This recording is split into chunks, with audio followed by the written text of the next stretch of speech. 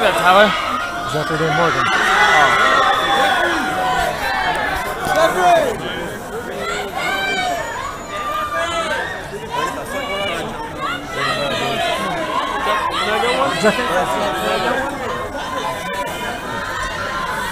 Just gonna put him on a cast.